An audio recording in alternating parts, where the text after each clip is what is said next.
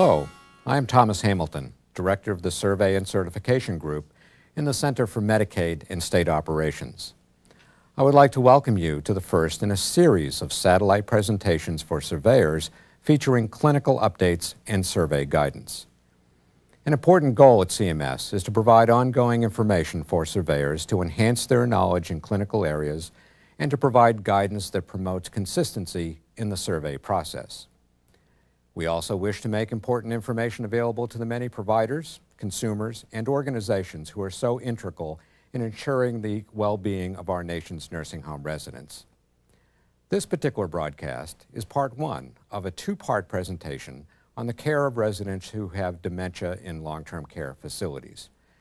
We at CMS, along with the Alzheimer's Association, felt the need to provide updates on clinical issues which challenge both the nursing home staff in providing care for residents who have Alzheimer's and related dementias, and also surveyors in evaluating the care the residents receive in relation to their identified needs. In addition to this presentation, you can look forward to future presentations on other clinical issues, including the care of residents who have urinary incontinence and the prevention and treatment of pressure ulcers.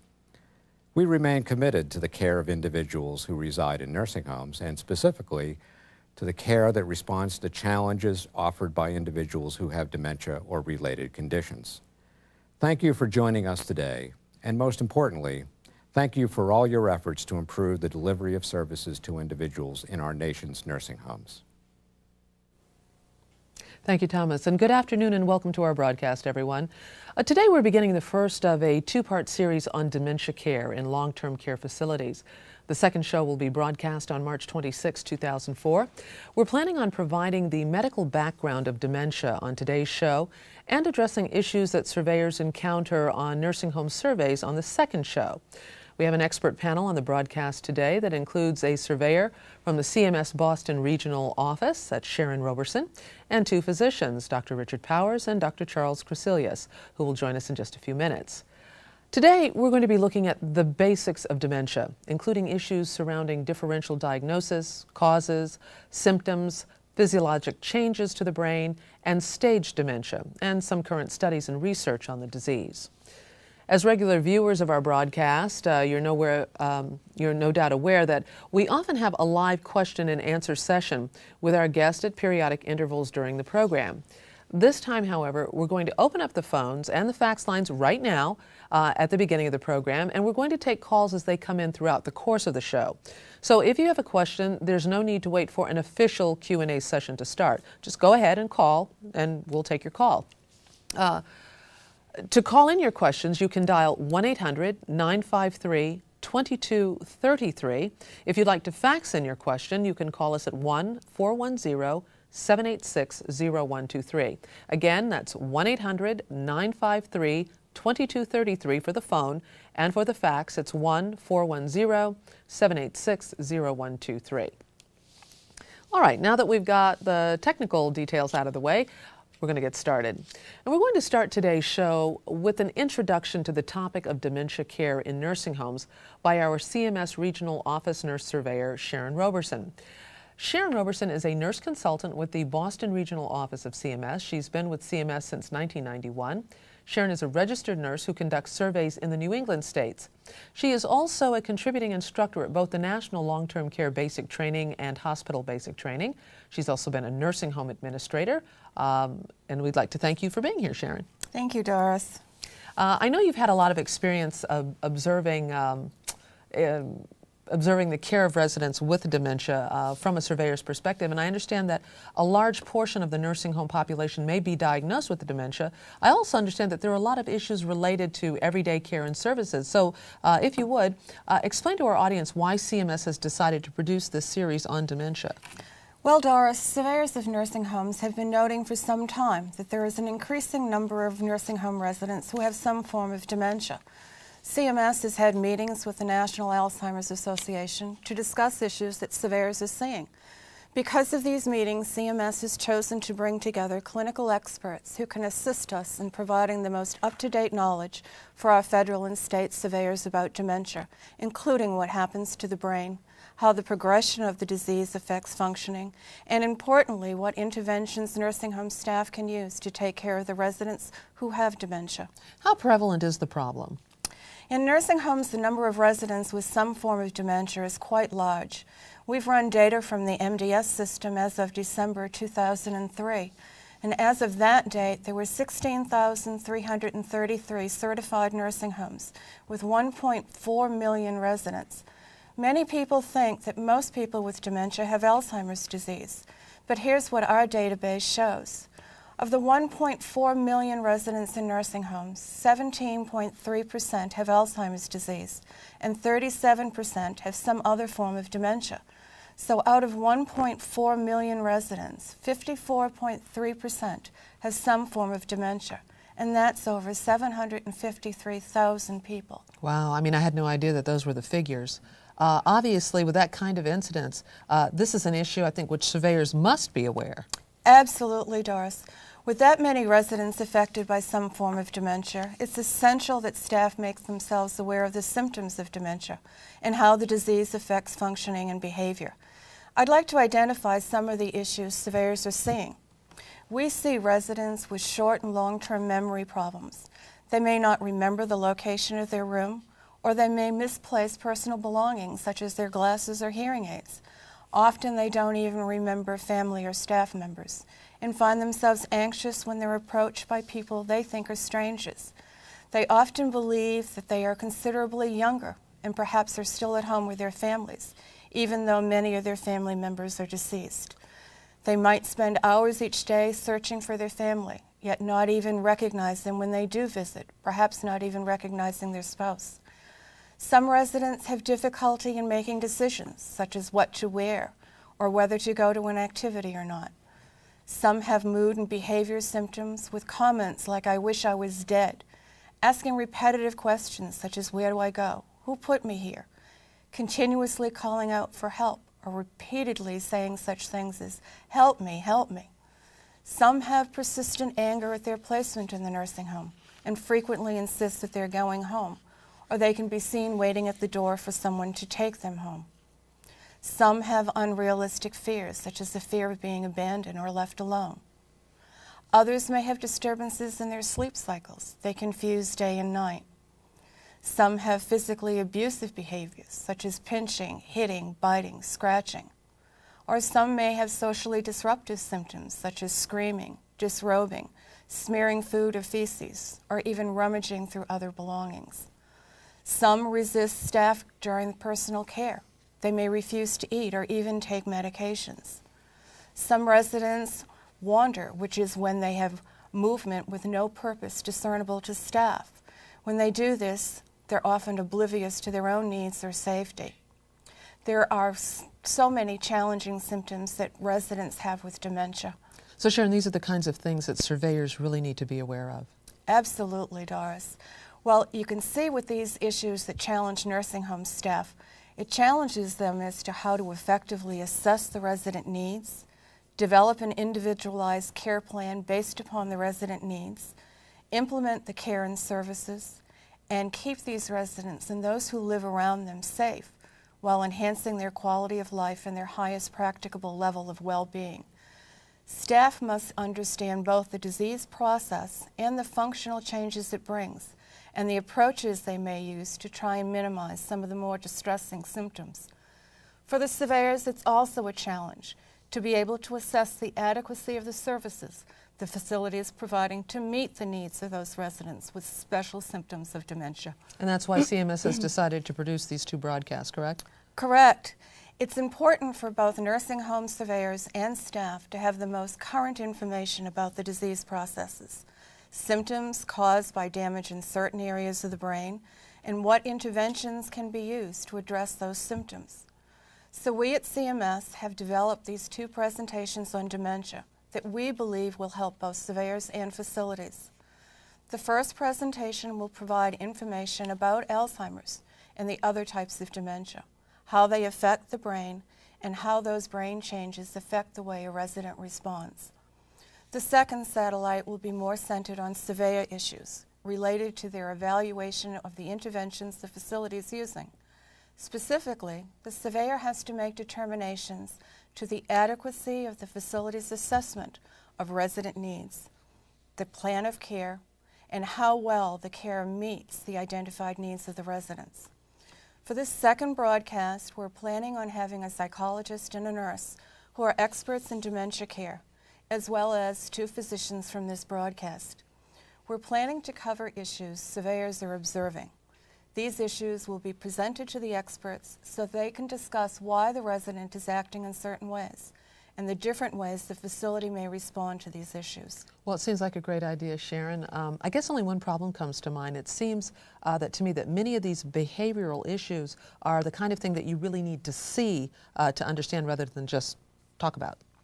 I agree completely, Doris. That's why, to make the second satellite more specific to surveyor needs, We've gathered video footage of many of the behavioral issues surveyors commonly see in nursing homes regarding residents with dementia. Well, I think that should work well and uh, provide surveyors with some useful concrete examples. In addition, to make the shows even more useful, we'd also like to know what issues surveyors would like us to cover on our next show. They can do that after this show is completed by sending CMS their issues in enough detail so that we can address those issues that are most problematic in the second broadcast.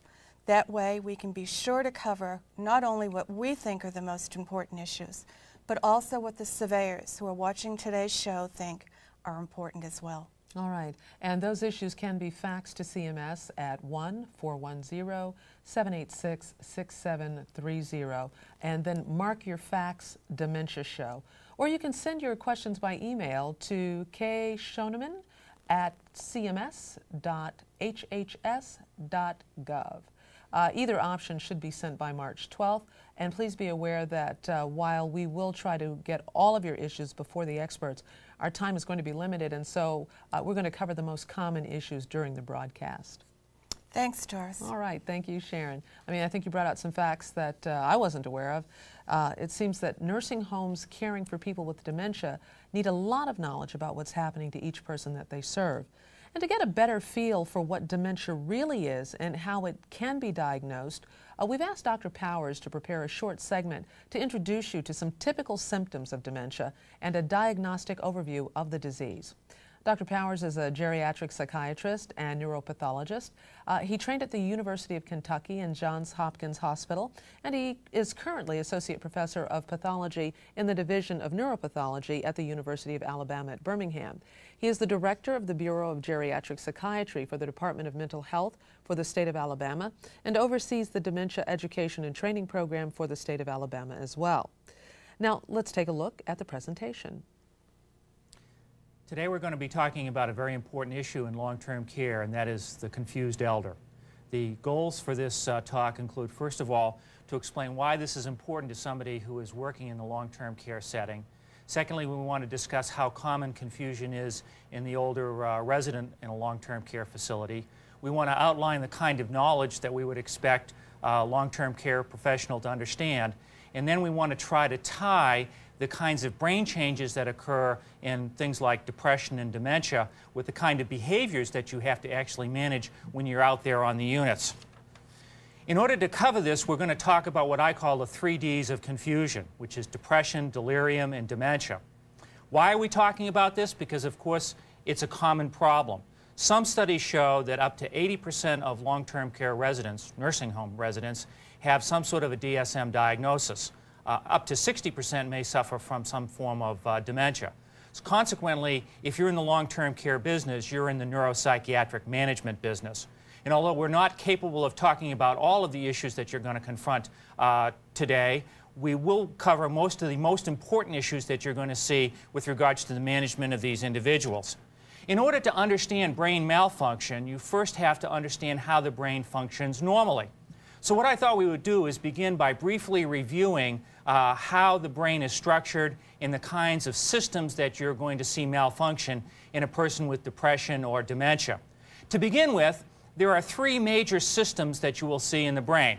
There is the functionally compartmentalized cerebral cortex. Uh, there is the subcortical processing centers, such as the thalamus and the basal ganglia. And then there are the brainstem centers that uh, produce uh, neuromodulators like norepinephrine and dopamine. To begin with, let's look at the normal brain. Here you see the uh, lateral view of a uh, normal brain, and up here we see the frontal lobes. Different brain regions do different things. So, for instance, the frontal lobes are involved with things like personality, social control, uh, social graces, impulse modulation. Here we see the motor strip. This, these are the neurons that actually move your arms and your legs. Here we see the parietal lobe. This part of the brain is involved with integrating incoming sensory information, for instance, to tell you where your arms and legs are located. Back here, we see the occipital lobes. These are involved with uh, visual recognition and visual integration. And down here, we see the temporal lobes. These are involved with very sophisticated uh, sensory processing, such as uh, understanding uh, spoken word. Down below, what we see is the, uh, is the brainstem, and that's where many neuromodulators are located, and we're going to talk about that in just a little bit. When we're talking about deeper structures, which you'll see here with the arrow pointing to the thalamus, the, this is a nucleus that's located deep inside the brain, and it, it integrates upcoming sensory information.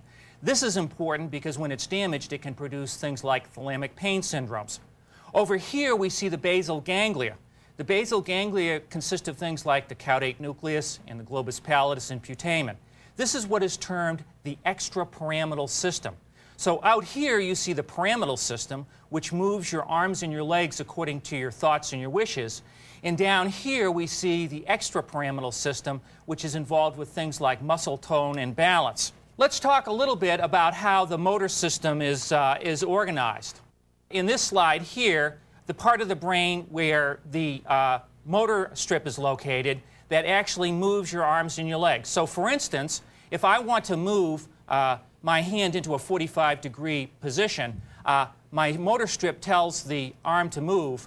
My sensory neurons uh, tell me where that arm is in three-dimensional space. And my extrapyramidal system balances the flexors and the extensors to allow me to maintain it in an even balanced way.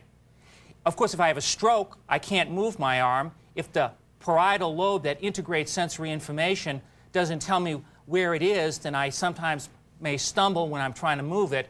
And if my basal ganglia, if my extrapyramidal system malfunctions, then I won't be able to hold it steady. Oftentimes, drugs will produce what are called extrapyramidal symptoms, stiffness, rigidity, and shaking. And in the uh, survey guidelines that you use, F329 through F333, they expect you to understand the common side effects of antipsychotic medications. In order to understand extrapyramidal symptoms, you have to understand how the motor system works. Now let's talk a little bit about how the sensory system works. Sensory function is broken down into different compartments. So for instance, in this picture of the uh, temporal lobe of the brain, Right there where it says TTG, that stands for the transverse temporal gyrus. That is where you are hearing what I am saying. The STG further up stands for the superior temporal gyrus, where you are understanding what I am saying. Further anterior is the temporal pole, and that is where it is all synthesized as a message.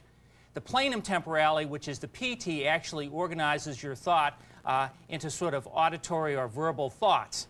Different brain regions in the temporal lobe receive and organize sensory information in a different way. I'm going to show you a little later on what happens, for instance, in Alzheimer's disease, where the transverse temporal gyrus is not damaged, so the patients continue to hear without difficulty. However, the superior temporal gyrus and the temporal pole are damaged and they do not understand what is being said to them. Now let's talk a little bit about the brainstem. The brainstem is a place where neuromodulators are located. There are three major types of transmitters that you need to be familiar with in the brain in order to understand the kinds of medications that you're going to see used in your residents. There are uh, direct neurotransmitters that send messages from one brain area to the other. Uh, drugs like uh, memantine affect those types of systems.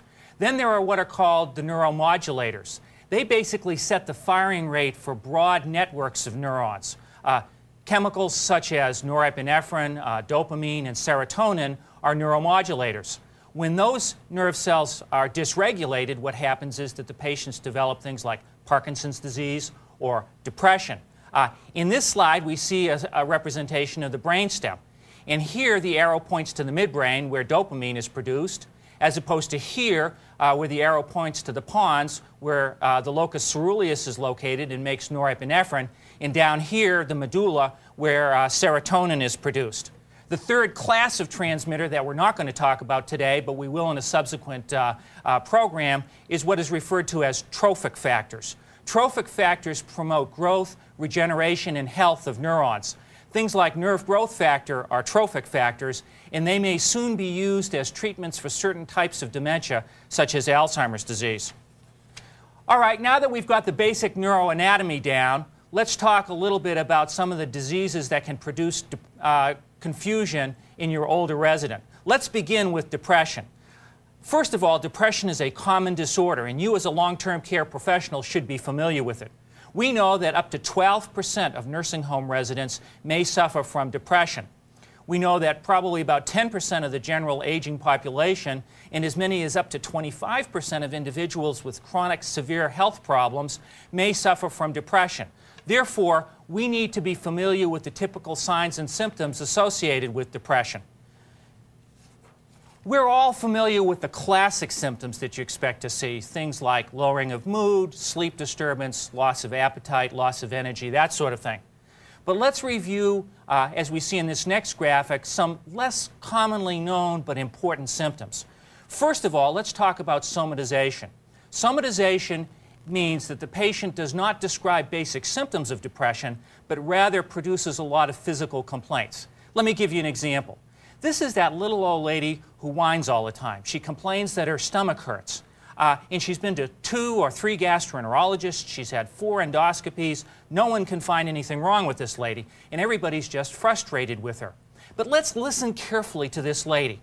What she says is, You know, doctor, my stomach hurts so bad that I don't sleep at night, that I don't care to eat. I'm not interested in anything anymore. I don't care if my family comes by. I feel like I'm a burden to them. And doctor, you know, if you can't fix this stomach pain, I might as well be dead. Now I ask you, what is the distinction between that and the classic symptoms of depression? And the answer is none, except that the, the somatic complaint is the ticket of entry into the healthcare system. Depressed elders oftentimes will not tell you that they're feeling down in the dumps and that they feel like giving up, because that's culturally not appropriate to them. So somatization can be an important, sometimes overlooked symptom of depression. Other things include confusion. You can produce a uh, dementia-like syndrome in patients with depression. It's called depressive pseudodementia. Any patient who is confused needs an evaluation for depression. Weight loss. Your facility should look for depression in every patient who is losing weight. Uh, oftentimes it's that they can't eat, it's that they won't eat. Other things include behavioral abnormalities. Uh, all, all of a sudden, if a patient becomes hostile, withdrawn, combative, one of the things that you need to exclude is depression. Remember, 25% of Alzheimer patients are going to become depressed. In fact, up to almost half of uh, Parkinsonian patients may have an episode of depression, and oftentimes it will be manifest as a behavioral change. And finally, psychosis. Anytime you're prescribing an antipsychotic, you should first ask, why is the patient hallucinating or delusional? And if, in fact, the patient is depressed, what you need to do is treat the depression while you treat the, while you treat the psychotic symptoms. Why am I, why am I uh, beating the depression drum so hard? Well, the, the reason is that 90% of these folks will get better if we just treat them effectively. All of the medications work pretty well. I can't recommend one particular drug over another, although I tend to use SSRI medications because they are particularly safe and effective. Remember, the common reasons why people don't get better with antidepressant medications is inadequate dose and inadequate duration of time. It takes six weeks to see the beneficial effect of an antidepressant medication. Why should you be concerned about treating this illness? Well, we know that individuals with depression who go untreated have higher rates of mortality and morbidity. For instance, if you have heart disease and depression, your risk of heart attack goes up, your risk of disability or death goes up, your risk of stroke goes up, your risk of uh, disability from the stroke goes up. If you're diabetic, your blood sugars go up. And we now know that uh, people who are depressed have an increased risk for developing dementia later on. Consequently, it is very, very important to look for and aggressively treat depression in the aging population. The second of the three Ds that we're going to talk about today is delirium. My colleague is going to discuss this as well, so consequently, I'm only going to briefly touch on some of the signs and symptoms of delirium. It is, the it is temporary confusion brought on by unrecognized medical problems or inappropriate medications. Why is delirium so important in the elderly? Because it's common. Studies show that up to 3% of nursing home residents are delirious at any point in time. We know that 15% of elders in medical units are delirious, and if you have a hip fracture, you have almost a 90% chance of developing delirium if you have Alzheimer's disease. So consequently, delirium is a problem, especially in individuals who are brain damaged. Delirium is commonly missed, especially in the emergency room. Missed delirium significantly increases morbidity and mortality for patients.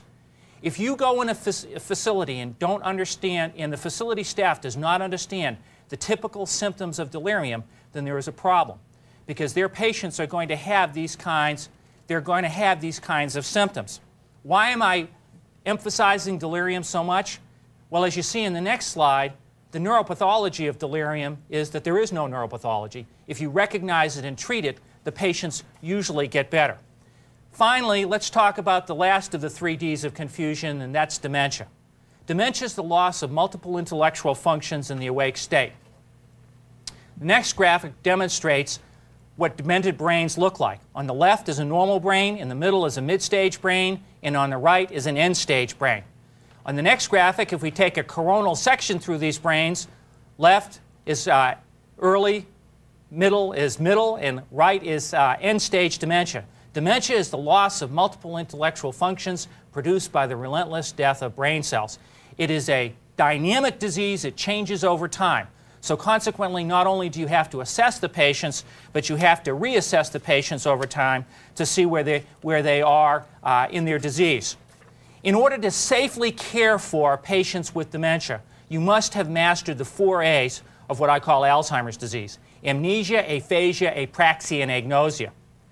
If you do not understand those four A's, and if the staff in the nursing home that you're in don't understand it, then you have a serious problem with your dementia uh, management program. There are two different kinds of symptoms that you'll see in a demented patient. There are the intellectual symptoms, which I'm going to talk about, which produce behavioral problems from cognitive loss. Those symptoms require behavior management according to the regulations and according to good care.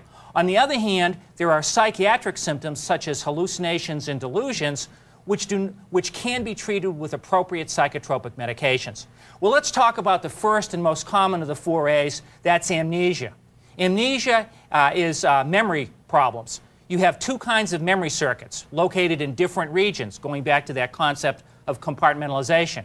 You have long term memory, which is stored over neural networks, and you have short term memory, which is located here in the hippocampus. The, slide of this brain from the temporal lobe above represents a hippocampus as seen with the arrow. And down below, you'll see the hippocampus from a slice of temporal lobe from a person with Alzheimer's disease. Notice how much more dilated the ventricle is, as seen by this arrowhead, as opposed to the ventricle here in the normal up above here. The reason that that ventricle is dilated is because the hippocampus has died. Hippocampus processes recent uh, memory. So, for instance, the way your brain is structured is uh, you have, it's sort of almost like your own PC. You have a workstation onto which you load information and you hold on to it for five or 10 minutes. And then you have a save button which puts it into long-term memory. The workstation is located here in the hippocampus. When this part of the brain is damaged, people develop short-term recall problems. However, their long-term memory is left intact. Almost all Alzheimer patients develop short-term recall problems early in the disease, and that is a point at which you probably want to initiate therapy. As the disease progresses, as we see here in the next slide, wide areas of the temporal lobe are damaged, and consequently, long term or older memories are lost as well. Remember, this is a progressive, relentless disease. Next, let's turn to language. There's two types of language function that you have to be familiar with. There is expressive language, my ability to speak to you, And there is receptive language, your ability to understand what I'm saying to you. Let's talk first about expressive language. There are many messages that you can send to somebody. There is the content of the speech, which I am saying, which I'm saying to you. There is the emotion. If I, you can tell if I'm happy or sad, even if you can't understand uh, what I'm saying. There is the volume, how loud I'm speaking to you. In, in some uh, neurological problems, the patients will actually speak in a loud, forceful voice when in fact they're not upset or angry. And then, of course, there is a cadence or prosody. I speak somewhat in a musical tone. On the other hand, some brain injuries will produce sort of an uneven way of speaking, which can sometimes be uh, distracting to the individual. You speak off the left side of your brain, and you curse and you sing off the right side of your brain. So, for instance, a person with a left sided lesion uh, may not be able to speak to you, but they can cuss you out. It doesn't mean that they still have expressive language skills. It just simply means that the, that the, that the, uh, the speaking side of their brain is gone. As you can see in the next graphic, that shows you uh, a right sided uh, uh, damage produced by Alzheimer's disease as compared to the normal on the left. This is typical of the kind of frontal lobe injury that you see in Alzheimer's disease, uh, that would produce some difficulty with speaking and then subsequently with swallowing and chewing. The second kind of language that you need to be familiar with is your receptive language. You have, as you see in the next slide, that demonstrates temporal lobes, you are listening to what I'm saying here in the transverse temporal gyrus, and you are understanding what I'm saying here in the superior temporal gyrus. Now, Alzheimer's disease is a disorder of the high order association cortex. In other words, the part of the brain that does your understanding. The part that does your hearing is not damaged by this disease. Oftentimes, you'll hear staff say to you, he hears just fine, he won't do what he's told. And of course, with Alzheimer's disease, that is partially true. He does hear fine. It does not cause the patient to become deaf.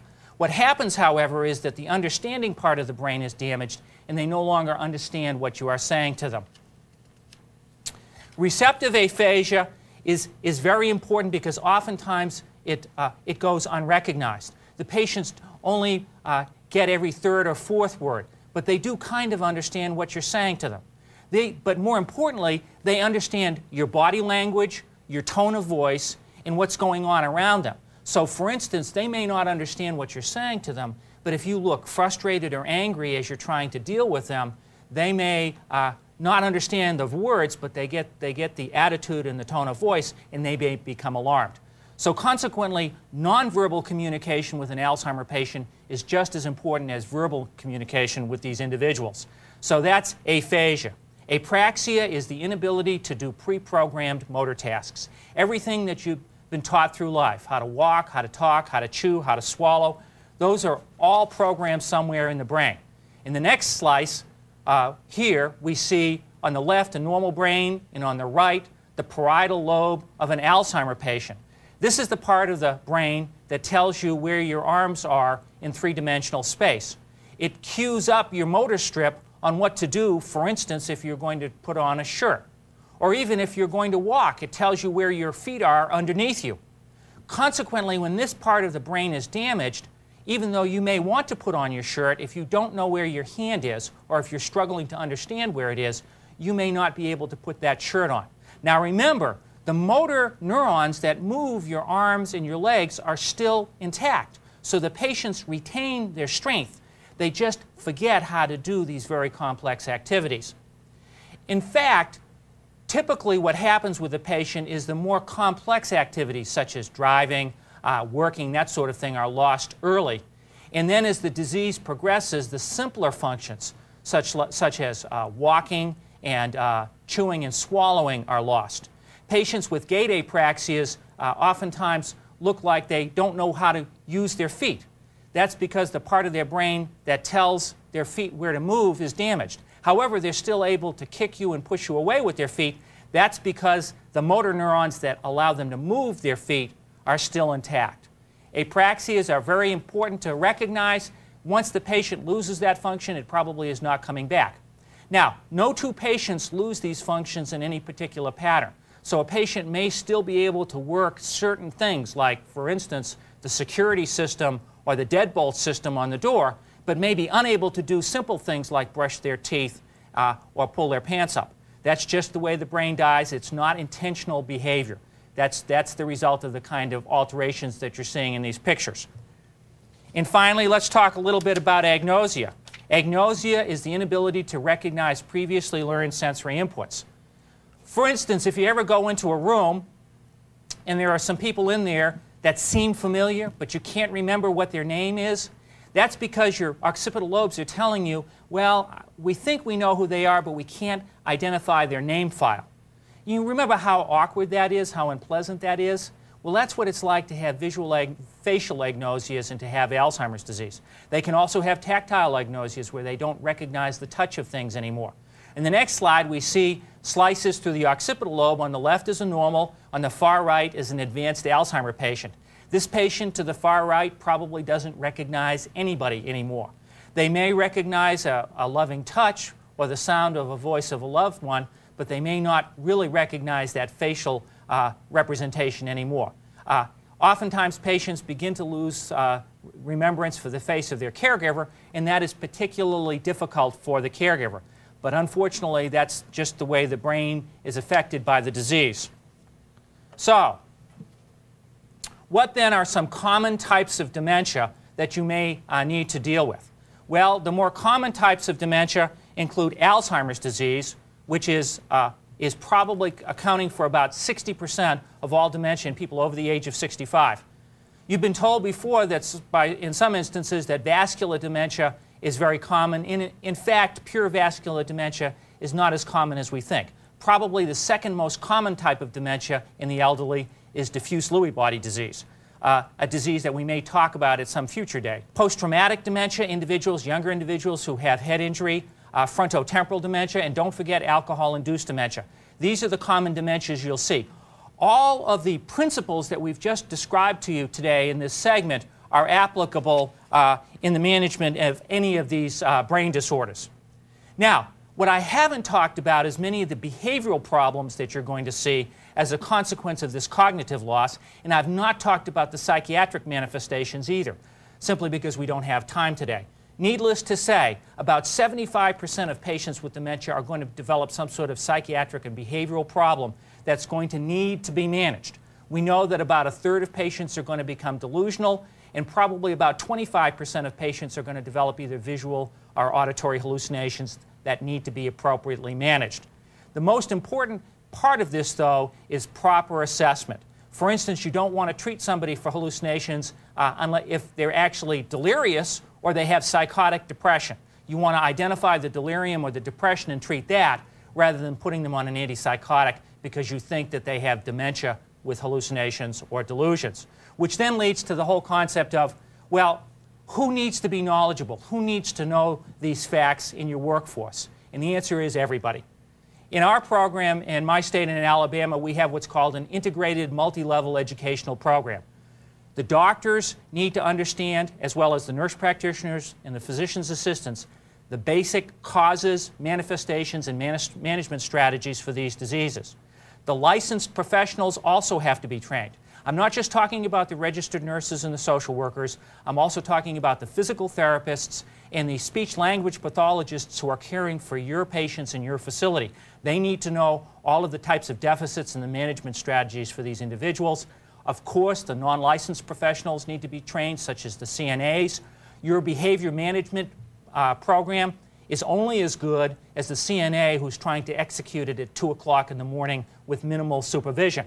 In addition to that, you need to have a family education program so that when the CNAs are talking to the family or the nurses are talking to the family about Alzheimer's disease, they understand the natural history and progression of this disease that it is a relentless progressive disease which will eventually disable and kill a patient. And finally, anybody who comes into your facility who uh, is going to manage one of your patients, for instance, if you're using a sitter program, they also need to have some basic information so that they can contribute to the overall care of this individual. So finally, what have we learned today? First of all, confusion is common in the long-term care setting. There's lots of knowledge that long-term care professionals need to master in order to take appropriate care of these individuals. In order to be safe in the management of these folks, you need to understand delirium, depression, and dementia.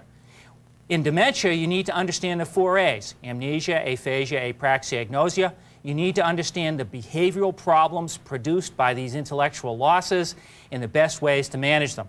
Obviously, this is a massive information that's beyond the scope of just this talk. If you want more information uh, that's uh, free and readily available, please go to our website, www.alzbrain.org. Thank you.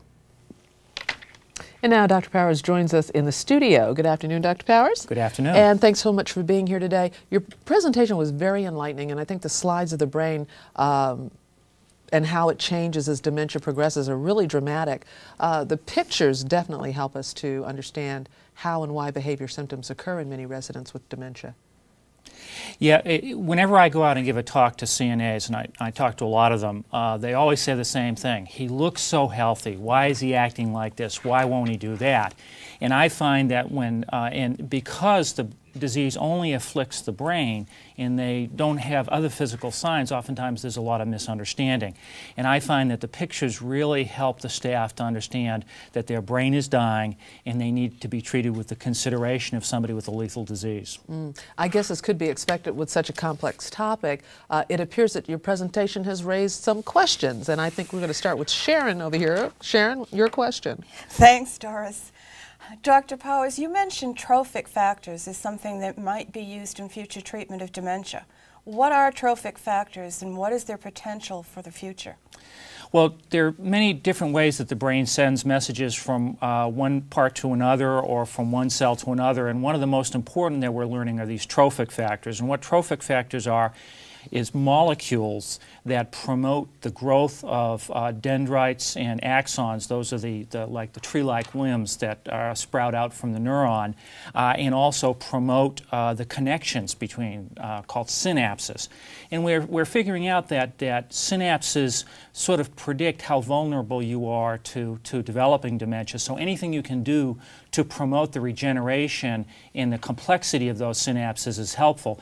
There are medications that are, are being prepared to be released right now. One is nerve growth factor that we think may be helpful uh, in the treatment of Alzheimer's disease.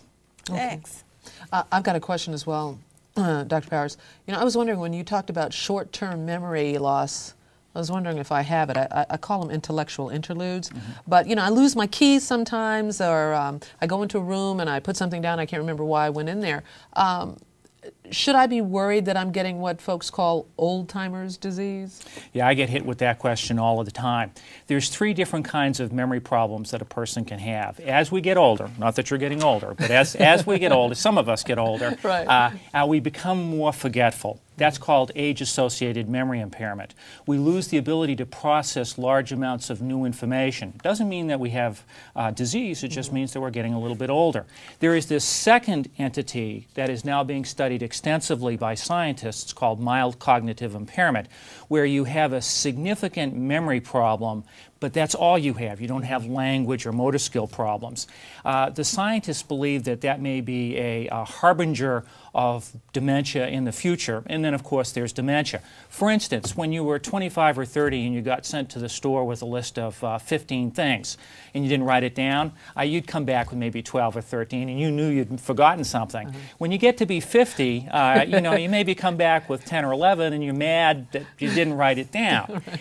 If you go to the store and come back with one or two, or forget why you went to the store, or mm-hmm. forget where the store is, that's uh, that's different, and that is an indicator of something like mild cognitive impairment. If that's the case, then you need to look into it a little further. Okay. To follow up on Doris's question, just how short is short-term memory? Is it just the remembering of a phone number you looked up for a few seconds, or is it remembering something for a few hours or a few days? Well, that's a good question, and it's, it's right sort of at the edge of how much we know about how the brain processes information. The pictures that were shown on the video of the hippocampus, that mm -hmm. sort of mm-hmm. seahorse-shaped structure, that is where all new information must flow through in order to get into long-term memory. We don't really understand long-term memory particularly well. We can hold on to short-term memories for maybe five or ten minutes, and then unless we keep repeating it over and and over again, it gets lost. Now, the other important thing to remember is that there are other things that can damage the hippocampus. For instance, if somebody has a cardiac arrest and their blood pressure and oxygen is low, or if they've been put on the bypass pump for vascular surgery and they had troubles on the pump and their pressures were low, the hippocampus is very sensitive to low blood pressure and low oxygen, and it's damaged easily, and they can also develop this sort of amnestic syndrome, but yet their long-term memory is relatively intact. For a resident with gait uh, praxia, where they forget how to use their feet, as you said, does this person tend to stand there and just stand still? Are they at risk for falling? Well, it would be a lot simpler if they did just stand there and stand still, but the reality is that oftentimes uh, they will try to walk. You know, Alzheimer patients like to wander, uh, mm -hmm. and, and it, it, it's sort of like if, if, if you're on rollerblades and, and you can't, don't know how to use them. That's what it feels like. And so consequently, they, they feel unsteady. And you can see them when they stand up, they kind of sometimes rock back and forth. They don't know where to put their feet. Uh, but then they will get going, and they are at risk for falls. And so consequently, the staff has to be very careful with those patients who are beginning to figure out how to uh, walk. Likewise, they forget how to sit down, and you'll see patients trying to figure out how to get their body into the correct position to sit on a chair or on the commode. And so consequently, they need help rising and they need help sitting. With that being the case, do you have any suggestions of how staff should re respond to a resident with gait apraxia? Well, they should respond with great caution. They should know that these patients are at significant risk for falls, and so consequently, uh, they should uh, assist them when they're standing or they're sitting. Uh, they should assist them when they're walking if it seems like they're unsteady. Uh, if they are having trouble with falls, uh, then it is worthwhile to get a PT consult uh, to see if perhaps there's some other unrecognized motor problem that's being overlooked. And finally, you have to you have to treat them like every other fall patient. You have to do things like put hipsters on them. If they are falling and hitting their head, you have to put a helmet. Do everything you can to try to mitigate this risk for these patients. On the other hand, you don't want to tie them up. Uh, so they are going to get up, and, and sometimes, despite your best efforts, they will fall. Mm -hmm. And, and that's just the, the balance of weighing the patient's rights and freedom against the potential risks. Eventually, they forget how to completely how to walk, and then they become bedbound. Mm -hmm. What you said about delirium, uh, you said it should be ruled out. How would a surveyor tell that there might be a problem with unrecognized delirium? That's a very important uh, question. Uh, I think that when the surveyor uh, goes into a facility, they ought to ask basic questions like, you know, what happens if a patient comes back from the hospital and is severely confused? Oftentimes, your patients will come back from the hospital uh, and, and they will have a change in their cognitive status. You know, how do you look for that? How do you monitor the patients to see if they've had an abrupt change in either their intellectual or their psychiatric status? If that's the case, then, then they should have sort of a set evaluation that they do for those individuals. So a high index of suspicious, suspicion is very important in making sure, and the, and the staff should be able to tell you that, yeah, delirium's a big problem, and we watch for it. You also mentioned that the physician must distinguish psychotic symptoms from delirium. Would you say a little bit more about this determination? Yeah, oftentimes a patient will have a new onset of, uh, of hearing voices, seeing things, uh, having false beliefs. The staff is poisoning me, for instance. Uh, when that happens, the staff should have an evaluation that they do on those individuals. If it is an abrupt onset, then it's more likely to be delirium or some other neuropsychiatric problem. On the other hand, if it's a slow kind of grumbling process that slowly gets worse, like you know, two months ago you noticed that sometimes they seem to be hearing sounds or voices, and, and now it's all the time, and, and now they're refusing their medications because they think you're trying to poison them. Uh, when the, now that sounds more like psychosis associated with dementia. So the, the big thing is sort of the time uh, course with regards to the onset of psychotic symptoms. Whether you have psychosis associated with Alzheimer's disease or whether you have psychosis associated with delirium, the hallucinations and delusions oftentimes look, look the same. Uh, Dr. Uh, Powers, it looks like we have a question from one of our viewers. Uh, they'd like to know if you can give a practical example of the assessment and management of a delirious patient. Yes, every facility should have a standard protocol that it runs through whenever they think that the patient has had this abrupt change. There are many. There are several common reasons why all patients become delirious, but especially brain damaged. Not only patients with dementia, but your traumatic brain injury. Uh, for instance, unrecognized medical problems in uh, in uh, ladies with Alzheimer's disease. Uh, urinary tract infections will oftentimes bring on confusion. Mm -hmm. So, for instance, a uh, urinalysis should be considered a routine part of a delirium evaluation unrecognized other infections. You got to remember, for instance, that Alzheimer patients can't tell you mm -hmm. that their chest hurts or their belly is bothering them, so they need a good, careful medical evaluation. Uh, inappropriate medications we know that there are certain drugs, especially those medications that have a high anticholinergic profile, uh, that have a very high risk of causing confusion. So, for instance, if the patient was recently placed on amitriptyline, uh, which is a very anticholinergic uh, antidepressant, that may be the cause of the delirium. Sometimes it's simple things like a rectal impaction can cause a patient to stop eating, get dehydrated, and become confused, or even things like environmental stimulation. If you change the patient's room, if you put a roommate in, in with them that screams all night and now they're not sleeping at night, these are all the kinds of things that can cause, it, especially a demented person, to become confused. Okay, we have another question. Uh, this one is, when a person loses the ability to do a certain action, uh, like putting on their shirt, is it permanently lost or does this vary in that they can do it sometimes and then not at others? Well, initially what you have is you have good days and bad days where they can do some things, they can bathe themselves, they can dress themselves, and but then on other days things are not quite so good. And I always tell the families and the caregivers, rejoice for the good days, but don't expect them to remain good. Uh, eventually most of those functions are uh, lost permanently. The other question that I get asked all the time is, well, you know, sometimes he does this one thing and it's really great, and why can't he do all these other things? And the answer is that's just the way the brain malfunctions. I mean, sometimes I can go out in my backyard and shoot two or three three pointers. It doesn't make me into Michael Jordan, and you shouldn't expect me to go out for the NBA. The same thing is with your patients, you know, that you have to, you have to rejoice when they can do things, but mm -hmm. not expect them to be able to do them consistently. Dr. Powers, I have one more question for you. What about the diffuse Lewy body type of dementia you mentioned? What is it and how is it diagnosed? Yeah, diffuse Lewy body disease is probably going to be uh, the second or third most common cause of dementia in people over the age of 65. Uh, it has a completely different pathology than Alzheimer's disease and probably has a completely different genetics as well. Uh, instead of being uh, a disorder of uh, amyloid, this abnormal protein, it's a disorder of a different protein called synuclein. The key features of diffuse Lewy body disease are that they have dementia, they have intellectual loss that may look just like Alzheimer's disease. The second thing is uh, that oftentimes the intellectual impairment fluctuates, where some days they seem to be relatively with it and intact, and other days they really are quite confused. And the third thing is that oftentimes they'll experience visual hallucinations.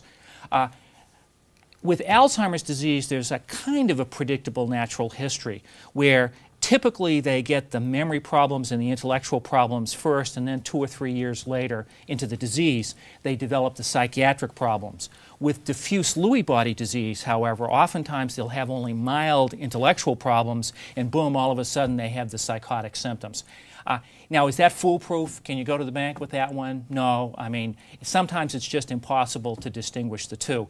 The other thing that you'll see in diffuse Lewy body disease is Parkinson's. Mm -hmm. Oftentimes they'll have, uh, you'll see dementia uh, in the setting of Parkinson's disease, or when you put them on the old antipsychotics, we call it the neuroleptic stress test, like uh, haloperidol, uh, they'll become very, very stiff. So when you have a patient who has fluctuating cognitive loss, visual hallucinations, and Parkinsonism, you ought to think about diffuse Lewy body disease. Does the person with this type of dementia present with different losses of functioning or different behaviors, or is the progression of the dementia different? Well, as I said before, what will happen is that sometimes they'll lead with the psychiatric problems. The other thing is that oftentimes they're mixed dementias where people have both of them. They have both Alzheimer's disease and diffuse Lewy body disease. The reality is, though, that there, there's no absolute way to know exactly the cause of a person's dementia. And the only way to absolutely confirm it is with a postmortem autopsy. Mm. All right, thanks a lot, Dr. Powers. Uh, we're going to move forward with the broadcast now, but if anyone has any questions uh, remaining, please go ahead and call them in, and both of our doctors will be answering questions at the end of the show. Again, to call in your questions, you can dial 1 800 953 2233. If you'd like to fax in your questions, it's 1 410 786 0123. Again, to call in, 1 800 953 2233, and to fax 1 410 786 0123. Uh, Dr. Powers gave us an in-depth look at many physical aspects of dementia, and now we've asked Dr. Crecelius as a medical director to cover issues arising from dementia-related behaviors. Dr. Crecelius is a clinical instructor in medicine at Washington University in St. Louis, Missouri, and the medical director of two nursing homes. A past president of the Missouri Association of Long-Term Care Physicians, he currently serves as a board member and chair of the Communications Committee for the American Medical Directors Association. He is a fellow in the American College of Physicians and a recipient of the Geriatric Recognition and Physicians Recognition Awards. He is on the board of directors of the Missouri End of Life Coalition and is a member of the American Geriatric Society, the American Association of Hospice and Palliative Medicine, and the American Association for Geriatric Psychiatry. Dr. Crecelius maintains special interest in Alzheimer's disease, mood disorders, end of life care, and pain management. And now we're going to take a look at what he had to say. Thank you for inviting me today to talk about dementia related behavior problems. Dementia-related behavior problems can cause real consternation for nursing homes. Inappropriately managed, they can cause demoralization of the staff and poor quality of life for the residents. Appropriately managed, they can cause a calm, quiet culture to the nursing home and improved resident quality of life. When we mention behaviors, there's a myriad of behaviors that can occur, as shown on the first slide. These behaviors are neither unique nor specific to any particular dementing illness. For example, with Lewy body dementia or Alzheimer's dementia, you can see any one of these behaviors. Furthermore, they're not specific to the stage of the dementia. These behaviors can occur in early onset, middle, and late onset Alzheimer's disease. So unfortunately, they can't tell us that much about what type of behavior or what type of dementia we're dealing with. They also don't suggest a specific intervention. One intervention will not work for every patient that wanders, for example. What we can learn, however, is that behaviors can be assessed, an etiology found, addressed, and appropriately managed depending on the unique characteristics of that patient. People commonly ask, why do these behaviors occur? Well, they can be broadly defined into two categories of etiologies, intrinsic and extrinsic causes. Intrinsic causes are those that are unique to the patient. In other words, they really won't make a difference if the patient changes locations, or circumstances. Extrinsic causes are more dependent upon the environment and circumstances the patient is put under. As shown in the next slide, intrinsic causes are multiple. The first and foremost would be brain damage itself. Dr. Powers has discussed how certain of these brain damaged areas can promote certain behaviors. For example, frontal lobe damage and intrinsic or uh, disinhibited behavioral problems. These, however, aren't always fully explanatory of the nature of the problem. Because dementing illnesses can affect multiple areas of the brain, and because there's other factors involved, we can't always say a certain behavior predicts a certain area of brain involvement. Comorbid diseases play a very important role in behavioral manifestations, especially psychiatric conditions, delirium, and serious comorbid medical problems. The presence of psychoses, severe depression, anxiety, and neurosis can greatly magnify behavioral problems. Acute illnesses such as pneumonias and urinary tract infections can similarly magnify problems. It's important to acknowledge and address these problems and treat them appropriately. Medications that we use can also have an effect on the patient's behavior. Unfortunately, many of the medicines used to treat behavioral problems can sometimes work against us. We have to carefully titrate, titrate these medicines to determine whether they have a beneficial or deleterious effect on the behavior. This can normally be done by following longitudinally with time to correlate behaviors with medication changes. This obviously necessitates a good tracking mechanism that somebody is responsible for. Other medical issues that can cause problems include things as simple as visual loss. A patient who's having visual hallucinations may have a primary psychosis. They may, however, only have visual misrepresentations caused by things such as senile macular degeneration and cataracts and dementia that makes them unable to understand or interpret what they're actually seeing. Close inspection is required to determine what the exact cause is. Pain is a particularly notorious behavior aggravating effect, especially in moderate to severely demented patients. Recent studies suggest that in demented patients of severity sufficient that they can no longer communicate, that empiric trials of Tylenol can be used to modulate the behavior. One study suggested a one-third to one-half improvement in behavior in, such, in these such patients. These studies have not been widely replicated, so it can't be tried empirically necessarily everybody, but we should have a th high threshold for determining whether pain could be a factor in the patient's aggravated behavior. Other physical needs, hunger, for example, or unmet toileting needs can drive behaviors. We need to make sure that CNAs and staff understand this and regularly assess patients for these needs. And now let's talk about extrinsic factors. Extrinsic factors, again, are those that aren't really unique to the patient but depend heavily upon the circumstances under which the patient's put in. Environmental factors are common. We're all aware that noisy environments, say around change of shift, can really drive bad behavior. We need to make sure we can modulate the noise level and make it appropriate for the patient. This doesn't mean that noisy environments are always inappropriate. Planned noise, such as music therapy, can be very beneficial. Similarly, lighting levels are important. There's been evidence to suggest that bright light therapy can be very helpful for people at sundown. On the other hand, bright light is no longer appropriate, obviously, for people that are trying to sleep. We again have to individualize it to the patient's needs. We need to provide enough space for patients. Some patients like to wander. If the environment doesn't let them wander successfully, they're going to become agitated. And correspondingly, we have patients that need tight social knit structures. They don't want to be in wide open spaces. They may not like these newer designs where there's more space involved. They may want to sit at the nurse's station despite some common thoughts these days. We need to meet those people's needs too and recognize their desires. Social extrinsic factors are also very important. It's appropriate that we make these social activities meet the patient's individual needs. They need to be culturally and cognitively specific to the patient. If we have activities that are too simplistic, they're demeaning to the patient. If we have activities that are too beyond them, we'll simply frustrate them. We need to provide an appropriate amount of social activities. We all need rest periods. We need to make sure that the families are involved. Families often leave town or won't be there for a while, we need to make sure we have ways to correct this. Patients will often ask where their family is. Do we have cards, letters, videotapes? Can we reach them by phone? Factors such as these are important in understanding why behaviors arise. Lastly, the staff. And I shouldn't say lastly because they may be the first and foremost. CNA training and education, along with other staff member education, is absolutely important as a goal to diminish adverse behavior.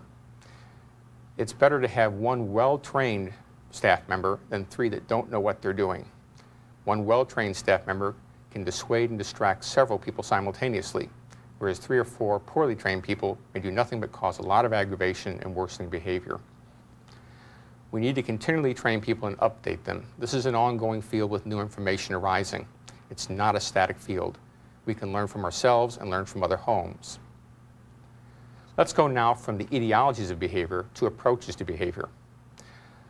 There is no one behavior system that's been shown to be superior to another. There's a wide variety of behavior interventions we could undertake, and still not find them all or try them all. We can broadly divide these, divide these categories into pharmacologic and non-pharmacologic interventions. Pharmacologic interventions are beyond the scope of today's talk and will be addressed in more detail in a later webcast. I do for now, however, want to touch on four areas in which pharmacologic management is very important and should not be overlooked. These four areas are shown in the following slide. First, violent behavior that is not redirectable. When a resident picks up a knife and threatens another resident, it's appropriate to rapidly try and redirect them, and if it can't quickly and successfully be done, to not be afraid to use the appropriate pharmacotherapy. In the interim, we search for other root causes and try and find why the patient is doing this. Secondly, distressing hallucinations, delusions, and paranoia are often signs of a primary psychosis. And as Dr. Powers pointed out, primary psychoses normally need medication to be successfully dealt with. If we ignore these behaviors, we can cause drastic problems.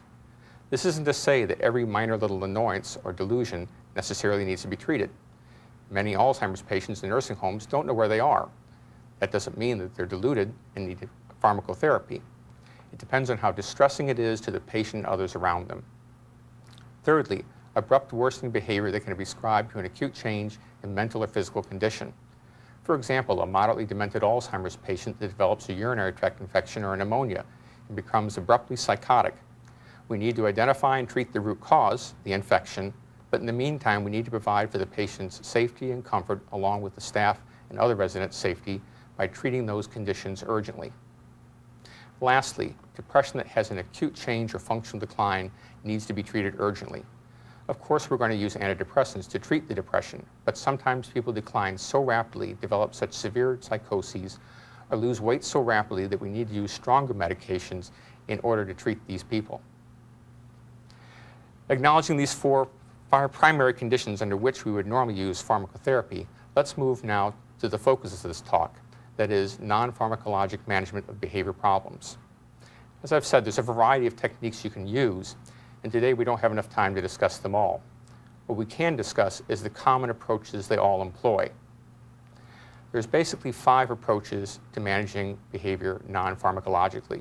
The first, define the behavior. It's very important to know what behavior we're talking about. It's unfortunately not uncommon to find different staff talking about different behavior and all lumping it under the term agitation.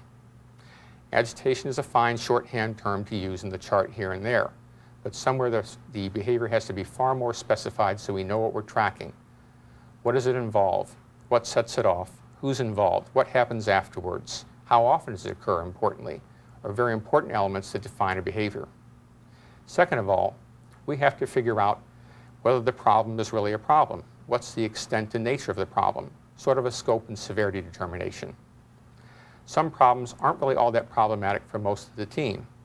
For example, the amorous couple in a nursing home that discovers each other and starts to take to each other in an intimate fashion. This can be horribly distressing for the family who comes in and finds their spouse cheating on each other, as it were. Well, we know they're not necessarily cheating. They're simply demented and no longer acknowledge that they're married. There's several possible solutions for this. First of all, explain to the family what's going on. Have them realize it's not a matter that the spouse is cheating. It's more a matter that simply the man is demented, the woman's demented, and can no longer control their impulses. We can also arrange for one family visit to have the couple separated. Simple solutions sometimes take care of simple problems that affect only a small number of people. The next step commonly used in strategies involves defining certain triggers. Sometimes we can find exactly what's provoking a problem and address it. For example, Mrs. Jones may hate a bath from a particular aide. On the other hand, she may love it from another aide that works in the next shift. We have to adapt our schedule to meet that patient's needs. Unfortunately, sometimes triggers can't be found or are relatively vague, so we can't expect to find a unique trigger for every situation. If we don't look, however, we won't find it. Determining triggers often involves the active involvement of the CNAs. If we ignore their input into the team, we're really going to miss the ability to find those things that set off certain behaviors. After we've taken these three initial steps, the next phase is to implement an intervention. Interventions can be varied, and we're going to talk about them in more detail. For now, I want to focus on the fact that we have to set first realistic goals. Most interventions won't cure a problem all the time. You may occasionally find a resident, I have one for example, who can be constantly dissuaded by simply putting on her favorite musical. Every time she acts out, the sound of music goes on, and she's happy for the next half hour. Unfortunately, all too often, we find that interventions are only partially successful. If we set realistic goals, such as a 50% reduction in behavior over the next two to four weeks with our interventions, we're far less likely to discourage the staff, cause staff turnover, forget that behavior management can be effective, and over-rely on pharmacotherapy. We need to anticipate possible complications of our interventions. An example would be the person that self-stimulates themselves during television programs that are highly suggestive. Unfortunately, these are ubiquitous these days, and it's hard to find programming on television that won't occasionally arouse the sexual interest of a person. This person could ideally be taken to their room where they can meet their needs privately and away from others, not causing a distraction or a commotion to others. The unfortunate side effects of this may be that the, the man or woman may eventually try and get out of their chair and fall. We may have to anticipate this and leave an attendant nearby in the room in order to prevent the subsequent consequences. Finally, we need to re-evaluate and redesign as necessary. We need to establish a frequency of monitoring. Is it a daily behavior log we use? Is it a team that meets weekly? Typically, it's a combination of both. Who's on the team is very important. While typically we need somebody in charge, for example, the floor charge nurse, we drastically need the input of all members of the team. If we don't get the CNA's buy-in, the behavior intervention will never work. Teams often are just composed of the CNA and floor nurse, but they can involve a larger team. Ideally, the medical director, the attending physician, recreation therapist, and others should be involved. This is especially true in implementation. I've alluded to the CNA's importance in this process. We can't forget the other staff members, the people that work in the kitchen, the housekeepers, the administrators. Everybody has to have an understanding of the basic principles. And it really goes beyond basic principles. For especially problematic patients, the whole building needs to know what behaviors work for that individual. When Mrs. Jones heads to the door, does the front receptionist understand what to do? When somebody tries to barge into the kitchen inappropriately, do the staff know what to do there and how to redirect that patient? Unless we involve all members of the team as appropriate for individual patients, we'll be met with a lack of success. This general outline I've just gone through is typified in a number of clinical practice guidelines. I'd like to refer you in particular to the American Medical Directors Association, or AMDA's clinical practice guidelines. These clinical practice guidelines are not prescriptive. They don't go into great detail about medications or exactly what to do. Rather, they outline general features of a behavior intervention and how they can be implemented. When we talk about behavior interventions, the ones that are most applicable are those on dementia, delirium, and acute changing condition. We've talked about general approaches to behavior problems. I'd like to now talk more specifically about detailed problem-solving strategies that can be utilized to implement behavior modification. There are some general principles as shown on the next slide. First, foremost, first and foremost, early intervention. We can't let problems lay around. The whole team, again, has to know what to do and initiate interventions promptly. If Mrs. Jones is left screaming in the hallway for 30 minutes, behavior interventions aren't going to work. Early intervention doesn't always mean we need to overreact to problems. For some behaviors, relative passive approaches or temporary ignoring of a problem, if planned, may be the right intervention. Second, we need to avoid confrontation. The majority of Alzheimer's patients enjoy a calm, collected approach that helps to redirect, redirect and distract them. Confrontational approaches rarely work.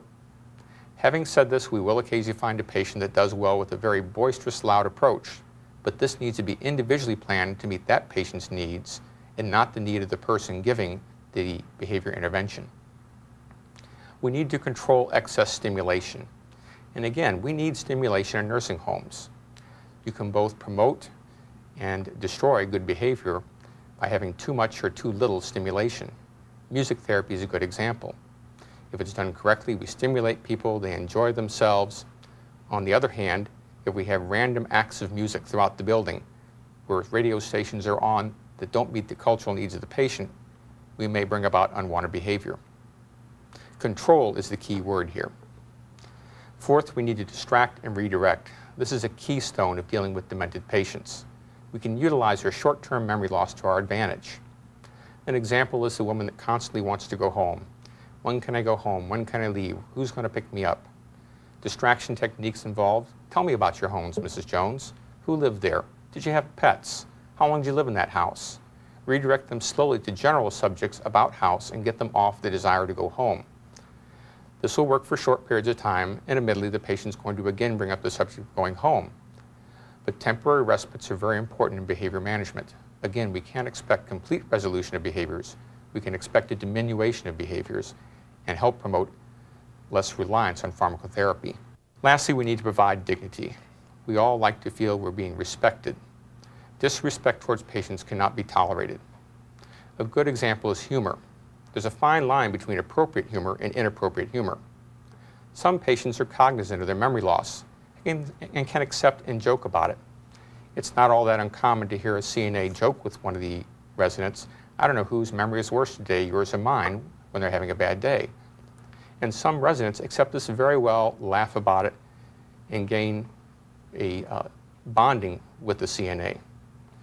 Certainly other residents will react violently to this sort of humor. It's important to know individually what that patient can tolerate. If we don't know their thresholds, we don't know whether we're going to cross that fine line that insults dignity. We can now talk about more specific interventions. Interventions can be broadly divided into therapeutic interventions, into control mechanisms. We're familiar with therapeutic interventions. The ones I've listed basically can be utilized and combined together or used separately. Music therapy, for example, is often used socially to uh, help modify behavior and redirect patients from unpleasant activities. It can also be used on an individual basis. For example, the patient that yells out and hollers in the chair for no discernible reason. That patient may sometimes respond to headphones put on to redirect them and provide pleasant music. It won't work all the time, and just because it fails once, it shouldn't be um, given up upon. Music therapy can be used, but it must be culturally specific to the patient. Loud, current music may be totally inappropriate for certain patients. Other patients may enjoy it. It's a matter of testing the waters and finding out what that patient wants. Sensory therapy can be highly utilized to control behavior. Many patients can be redirected, for example, by offering a therapeutic massage. Many of our patients have aches and pains, and massage therapy may help alleviate that pain and distract them from the problem they perceive at hand. Aromatherapy has been promoted to help promote better behavior in nursing homes. Certain floral scents have evidence to suggest that they help diminish the average extent and frequency of behaviors. This is a relatively new field, but can certainly be used as an attempt to diminish behavioral problems in certain selected residents. Other sensory therapies could involve, for example, looking at pictures. There's any number of ways to stimulate our senses and redirect behavior. Reminiscent therapy is a mainstay of redirection techniques. Because people's long-term memory tends to stay intact until the very last stages of dementia, we can utilize their past experiences to bring about pleasurable experiences and distract them away from the unpleasant experiences they're having. Reminiscent therapy takes many forms. Some of the examples I've already given use reminiscent therapy. Many homes have memory boxes embedded in the wall in which their possessions are placed there and they can be brought to it and reviewed it. Perhaps more practical is a memory box. It can be either individually or group-based. It can be kept at the nurse's station or the bedside and brought out when the patient is agitated, upset, or having some behavioral problem. Rummaging through it may give them something to do It redirects them and makes them think about more pleasant times and places. Often music therapy involves reminiscing. Name that tune type games. In addition to reminiscent therapy, we go into social therapy, which often are combined. Social therapy, again, has to be appropriate for the patient. It has to be culturally and cognitively specific. Having a cooking class for 80-year-old gentlemen may not be appropriate. All the women may enjoy it, but the men may wonder what in the world they're doing. They never did this before in their life. Trying to take group activities and break them down into individuals' needs may help solve this problem. Sponsoring a cooking contest, for example, may work. The men can help uh, produce flyers, set up tables, advertise the event, get people to come to it. They can be the judges. There's any number of structured activities you can take and make certain that each member can participate in it. This doesn't mean that social activities have to be for everybody. Some people won't enjoy the social activity and this should be anticipated and they should be redirected to another area of the building and provided some alternative means of activity. Field trips should not be ignored. Some of the best nursing homes I know have some of the most adventuresome field trips. People need controlled stimulation, as we talked about, and many field trips can utilize this to their benefit. It can be a confined social event, combined social event, reminiscent event, and a new experience. Just because people have dementia doesn't mean they can't handle relatively new situations or situations they haven't experienced in a while. The key is having a somewhat adventurous, imaginative approach to behavior interventions, trying it out cautiously and seeing who it works on and who it doesn't work on. Control mechanisms are commonly employed by nursing homes. Contextual control is probably the oldest. That is, putting things into context for the patient. Aides know this technique, or at least the good ones do, explaining to the patient what they're going to do before they do it. Mrs. Jones, I need to wash you because you've gotten dirty. As a doctor, if I don't explain to a demented patient what I'm about to do when I put my stethoscope over the heart, I'm likely to get hit. Explaining to the patient where they are and what's going on in the immediacy of the situation is important. It's far more important than telling them what day and date it is.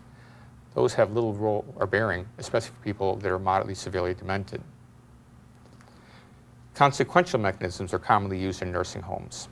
We have to be careful with consequential mechanisms. It's fine to give positive rewards for positive behaviors. However, we have to be careful about using negative rewards for negative behaviors.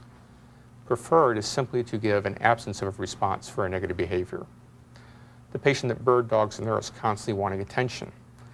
The nurse shouldn't just tell the patient, shut up, go away, leave me alone. It's better to sort of ignore that patient, redirect them here and there. When the patient's quiet, give them positive reinforcement. There's a variety of techniques that can be used in this fashion. Importantly, we have to be careful not cross that line of punishing a patient or having the appearance of doing so. Stimulus control involves promoting an acceptable level of stimulation and stress that the patient can accept. Everyone has a stress threshold over which you cross you don't operate as well. For some people, it's very low, and that tends to represent a good number of Alzheimer's patients. If they have an unacceptable level of stress, noise, lighting, other forms of stimulation, they're far more likely to experience adverse behaviors. Working to keep a stress threshold for a variety of people that have a variety of stress holds requires a lot of thought and imagination, but it can be done. Behavior problems at end of life pose their own unique challenge. End of life situations often involve a lot of compromise. First, the four A's worsen amnesia, agnosia, apraxia, all worsen. The patient may not be able to walk as well, may not be able to talk and communicate. That leads to a lot of restrictions on what interventions we can use.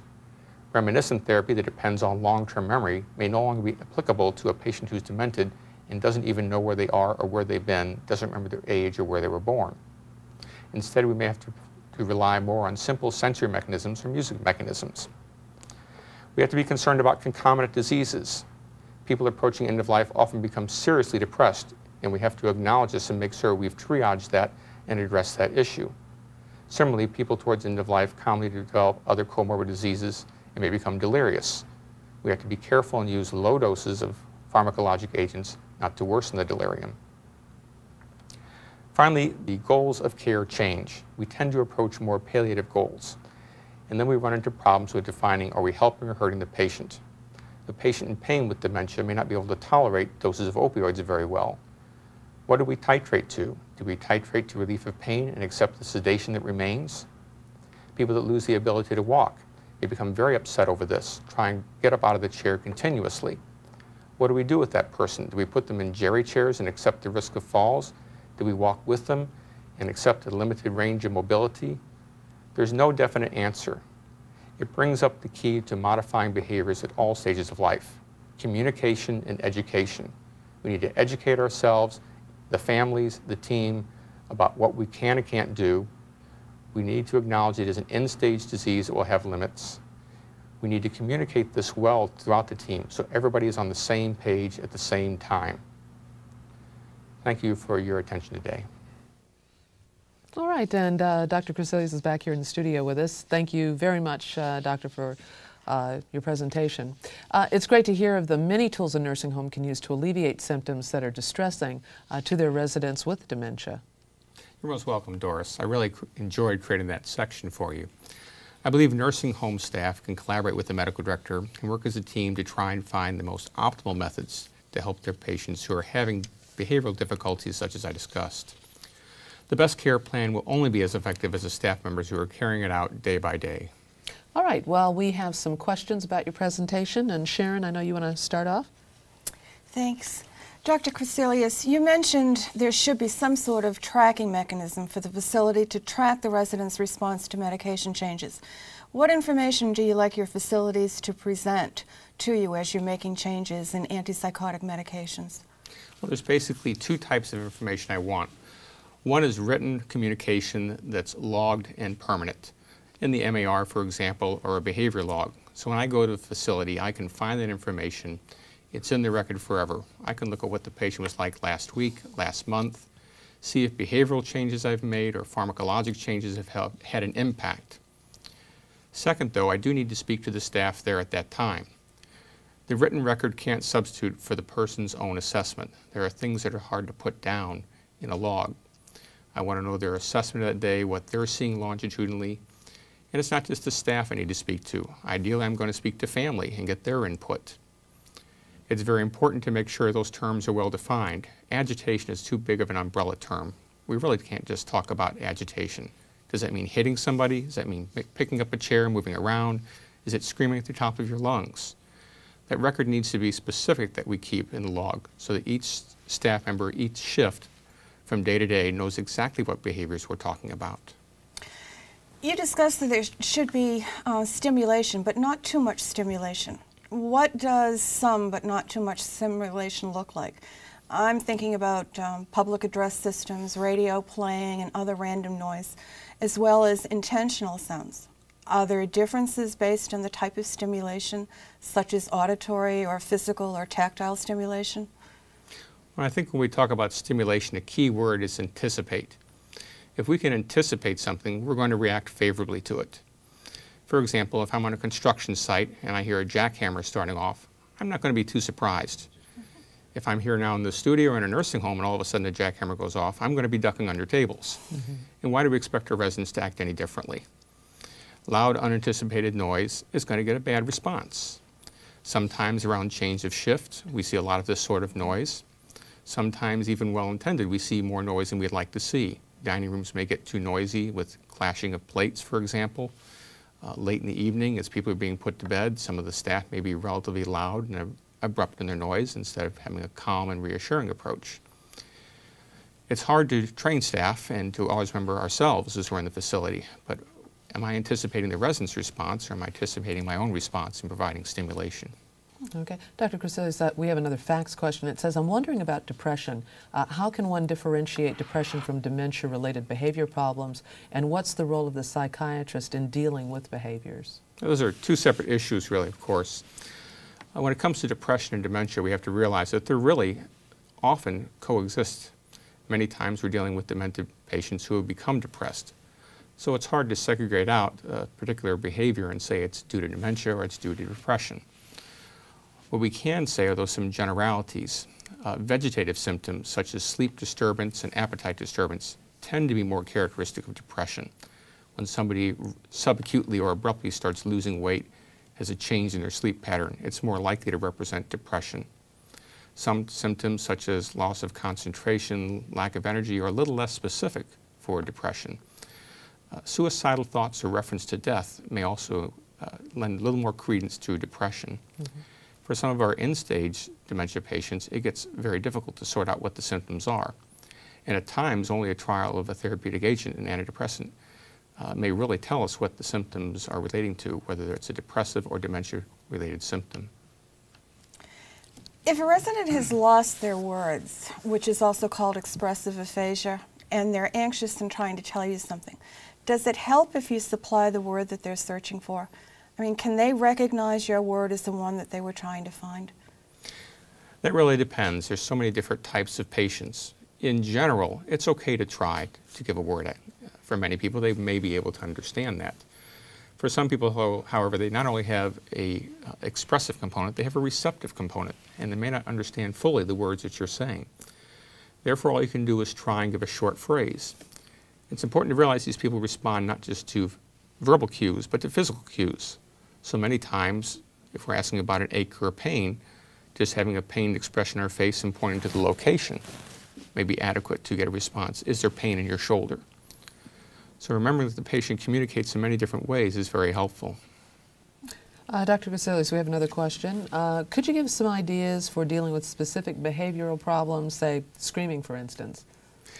Screaming or vocal disruptors is the probably correct term to use. Mm -hmm is unfortunately one of the most difficult behaviors to manage. There is no wonder drug. Nothing really works that well unless you can identify a root cause. Probably the first thing we should always look for is in pain, not just with screaming, but with any symptom. Is it at all possible that the patient is attempting to communicate pain? If so, an empiric trial of a low-dose pain medicine or a low-dose pain medicine mixed with an opioid, for example, may be appropriate. There's a lot of been a, lot of other methods been tried. None are really um, good enough to recommend uniformly. Many people use headphone sets to try and determine whether music may help redirect them, uh, segregating those patients away. Uh, for the other residents' rights, making sure those patients are put into rooms with roommates that can tolerate that noise level. Uh, quite practically speaking, a roommate that's deaf or has severe hearing problems would be the appropriate roommate for that patient. Hmm. Uh, I have one final question. When using the team approach that you advocate, who's responsible for behavior management? I don't want to give you a cyclic argument, but the fact is it is a team approach. If you want me to name any one person, I'd have to say it's the CNA, which some people may not believe, but frankly, they're the ones that gather the information, give it back to the team, and they're the ones that apply the information. You can look at the physician as a medical consultant of sorts. He comes in or she comes in, assesses the information given, provides pharmacologic approaches and some behavioral approaches. If you have a geriatric psychiatrist, to get back to one of our other questions, that person also serves as a consultative role for especially difficult cases in particular.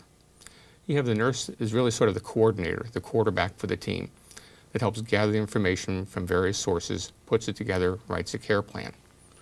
But as I've already said, a care plan is only as good as the people that apply it. And the first line workers are always the CNAs. All right. I'd like to thank you for uh, your answers to all the good questions that we had. And now I'd like to take a moment to address a question uh, for both of our doctors here. Uh, dementia in the popular press. Uh, I know that everyone here has seen articles and studies that have received significant play in the media recently, uh, such as the Nun study occurring with the sisters at Notre Dame, uh, as well as others. In fact, uh, just a few weeks ago, a report was televised that women taking hormone replacement medications may increase their risk for developing dementias. So I'd like to ask you all if you would enlighten us on what we're hearing in the popular press and tell us what's true and what's worthwhile.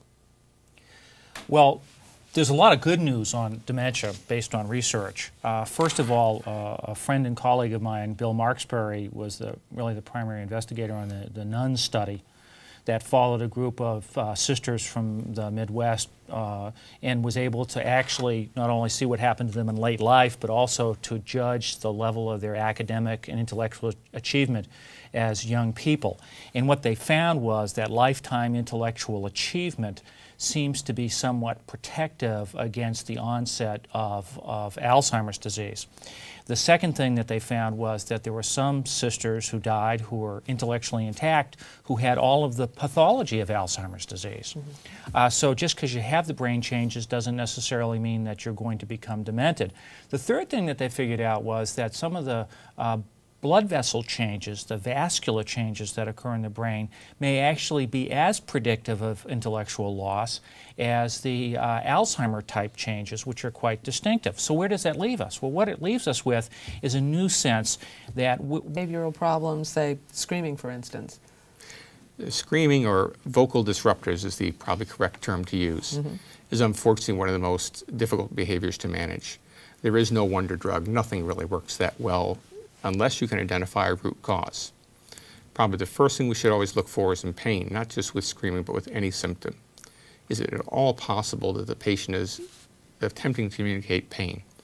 If so, an empiric trial of a low-dose pain medicine or a low-dose pain medicine mixed with an opioid, for example, may be appropriate.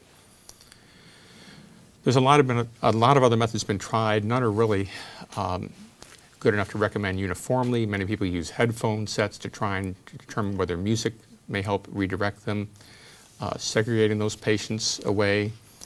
Uh, for the other residents' rights, making sure those patients are put into rooms with roommates that can tolerate that noise level. Uh, quite practically speaking, a roommate that's deaf or has severe hearing problems would be the appropriate roommate for that patient. Hmm. Uh, I have one final question. When using the team approach that you advocate, who's responsible for behavior management? I don't want to give you a cyclic argument, but the fact is it is a team approach. Mm -hmm. If you want me to name any one person, I'd have to say it's the CNA, which some people may not believe, but frankly, they're the ones that gather the information, give it back to the team, and they're the ones that apply the information. You can look at the physician as a medical consultant of sorts. He comes in or she comes in, assesses the information given, provides pharmacologic approaches and some behavioral approaches. If you have a geriatric psychiatrist, to get back to one of our other questions, that person also serves as a consultative role for especially difficult cases in particular. You have the nurse is really sort of the coordinator, the quarterback for the team that helps gather the information from various sources, puts it together, writes a care plan. But as I've already said, a care plan is only as good as the people that apply it. And the first line workers are always the CNAs. All right. I'd like to thank you for uh, your answers to all the good questions that we had. And I'd like to take a moment to address a question uh, for both of our doctors here. Uh, dementia in the popular press. Uh, I know that everyone here has seen articles and studies that have received significant play in the media recently, uh, such as the Nun study occurring with the Sisters at Notre Dame, uh, as well as others. In fact, uh, just a few weeks ago, a report was televised that women taking hormone replacement medications may increase their risk for developing dementias. So I'd like to ask you all if you would enlighten us on what we're hearing in the popular press and tell us what's true and what's worthwhile. Well, there's a lot of good news on dementia based on research. Uh, first of all, uh, a friend and colleague of mine, Bill Markesbery, was the, really the primary investigator on the, the NUN study that followed a group of uh, sisters from the Midwest uh, and was able to actually not only see what happened to them in late life, but also to judge the level of their academic and intellectual achievement as young people.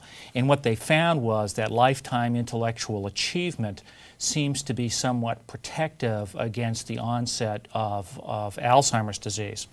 The second thing that they found was that there were some sisters who died who were intellectually intact who had all of the pathology of Alzheimer's disease. Mm -hmm. uh, so just because you have the brain changes doesn't necessarily mean that you're going to become demented. The third thing that they figured out was that some of the uh, blood vessel changes, the vascular changes that occur in the brain, may actually be as predictive of intellectual loss as the uh, Alzheimer type changes, which are quite distinctive. So, where does that leave us? Well, what it leaves us with is a new sense that what you go into later life with may somehow predetermine uh, wh what sort of intellectual loss you're at risk for. So, for instance, the newer research that's coming out, based on this older research, suggests that people who have an active intellectual, physical, act, intellectual, and spiritual life may have a diminished risk for uh, uh developing Alzheimer's and different other types of dementia. Uh, we know that if you have high blood pressure, uh, every study that has been done shows that if you have high blood pressure and you do not manage it, your risk of developing intellectual loss as you grow older goes up. So the good news is now that there are things that we can begin to do when we're 40 or 50 that may somehow affect our risk for developing dementia later on in life. Okay. Um, Dr. Griselius, would you like to add any? I'd just say that that concept of cognitive reserve still works even when you're in the nursing home we see the better uh, care units, Alzheimer's units, often having uh, very active recreation therapy programs, mm -hmm. programs that stimulate the person's mind, that prevents boredom, that keeps a person from simply wasting and sitting. I think is a, an applied method of the same philosophy. All righty. Well, it's um, certainly interesting to hear the kinds of studies that are going on now. Uh, and what kind of impact they're having. You know, we've gotten a few more questions as the show's been running, so we're going to see if we can get some answers to those now. Uh, this is a question for both of you. Uh, neither of you discussed the stages of dementia, but in the past, uh, others have described dementia in terms of stages and what losses were at each stage. Um, is the concept of stages no longer used? Well, I think it's still helpful to have some simple staging mechanism in traditionally we've talked about mild, moderate, and severe dementia. There's been a lot more refinements of that. For practical purposes, we often talk about functional losses, and that may really predispose better to an accurate system of classification than simply looking at cognition. A score on a mini-mental status exam, for example, may not be as important as an activity of daily living scale. So the scales are getting refined. In general, we're seeing a little bit more input into this aspect. What is the uh, clinical dementia rating, for example, is one scale. I think as time goes on, we'll see more emphasis on that aspect, what's really the person's functionality, not just what is their cognition. Okay. Would you like to add anything, Dr. Yeah, I think it is important to remember that this is a progressive disease and that, and that new deficits occur, so we have to reassess them. Just because you assess them once doesn't mean that you just forget about it. You have mm -hmm. to reassess them Typically, it's on an annual basis. The other issue with regards to staging, probably as more and more medications come online that slow the progress of the disease at different stages, like, for instance, the new drug memantine, uh, uh, slows middle stages more than it does early stages based on available data, mm -hmm. then you're going to have more emphasis also on making sure that you keep track of what level they are at. So I think it's going to be a bigger issue, not a smaller issue. Okay. All right. Um, just to follow up on the nun study, that was kind of fascinating. Um, what were the ages of the nuns that we were talking about? Well, when they were, what uh, God bless the Catholic Church, they keep mm -hmm. records forever. I'm Catholic, I can okay. say that. And uh, and when you joined the, the, the sisters, you had to write a, a, paragraph as to why it was that you wanted to be a sister. And they used that they they measured the intellectual function based on the syntactical complexity and other things of those paragraphs. So they knew what you looked like mm -hmm. when you were say 18 or 20, and then they followed them all the way into their 80s and their 90s. So this is a very, in the, the, other part of it is that this is a group of women who, for instance, didn't abuse themselves uh, physically or with alcohol or other things. So you really controlled as many of these things as is humanly possible. Uh, and many of these sisters uh, lived to be very, very old. And, and the data really has been quite helpful in us understanding this. All right, great. Okay, well, on that note, um, is there a vaccine for Alzheimer's?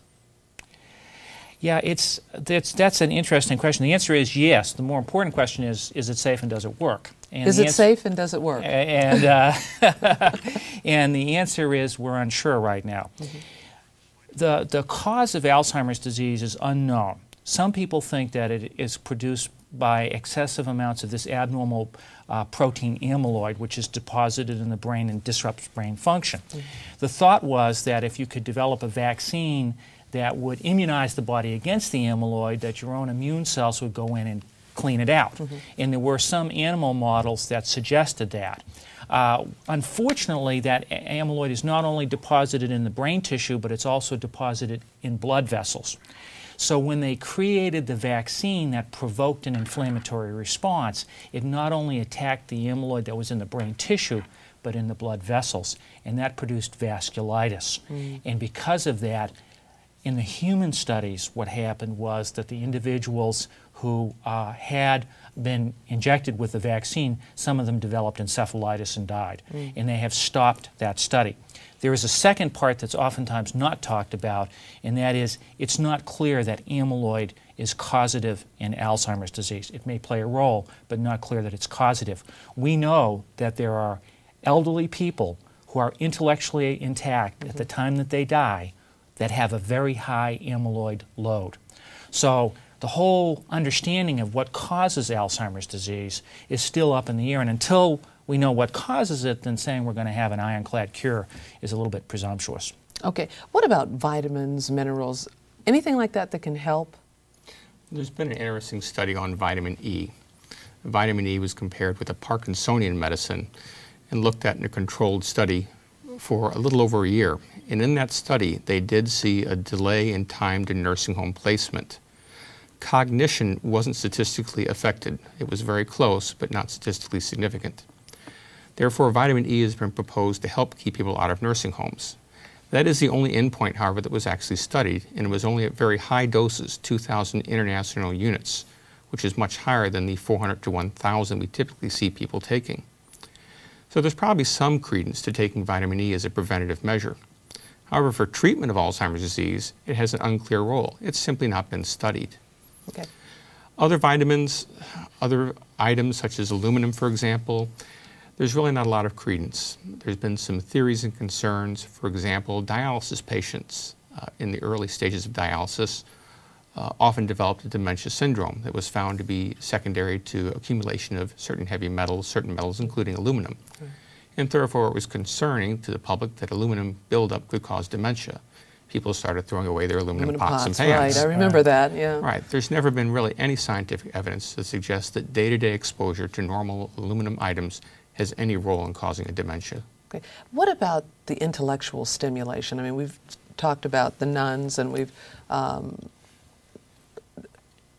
encouraging people once they get mm -hmm. into this age to, to keep their minds active, work crossword puzzles or read. Does that help stave off uh, some of, of what we're seeing? Well, it's unclear because the studies would take decades to right. do, but it is very clear that the brain uh, retains the ability to rewire itself. Uh, so, for instance, if you lose a brain cell here, the cells on either side can rewire to fill the empty space. That's called plasticity. Mm -hmm. It's also clear that that plasticity continues into the eighth and maybe even the ninth decade. So even if you're 75, 85, you still have some ability to rewire yourself.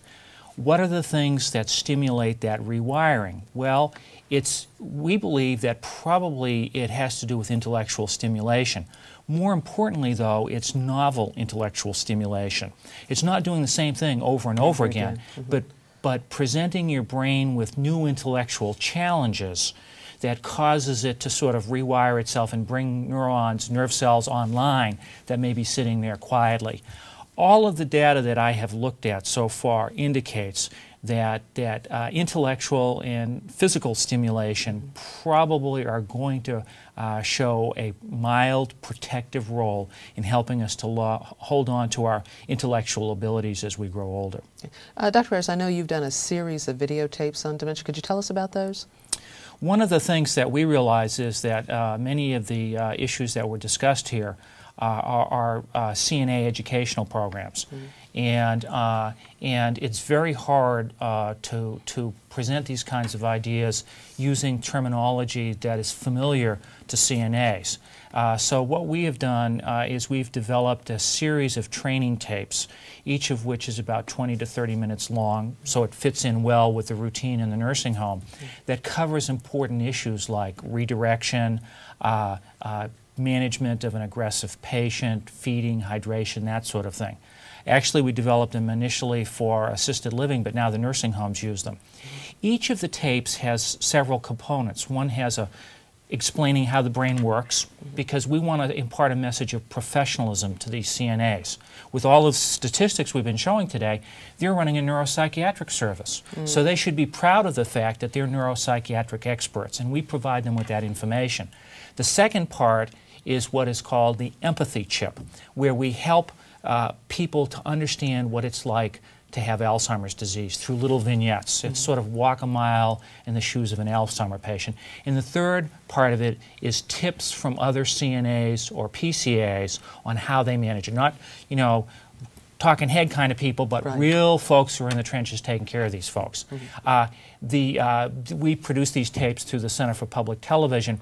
They are also meant to be used in conjunction with our, what are called our DITA Brain series, which is training materials for the licensed professionals. Those are 10 tapes that are about 40 minutes each, and they're meant for like nurses and social workers and people like that. So the, the way the system works, when we talk about an integrated system, is that you first have to train the licensed professionals, because they're not going to try to train the non-licensed professionals unless they know it first. Right. So you train the licensed professionals, and then they can take these training materials, which mirror the same information, but at, at basically a 10th to 12th grade level, mm -hmm. and they can present that to the, uh, to the CNAs. And then the third part of it is for families families. We have what's called the DITA Family Series, which is printed in videotape materials, which presents the same information, but only at, from the perspective of the family caregiver. And if those who are watching want to get those tapes, where should they go? If they, if they go onto my website at www.alzbrain.org, uh, we have a uh, we have a way of distributing them. We don't make any money off these. Okay. It's all done through the Center for Public Television, and it's all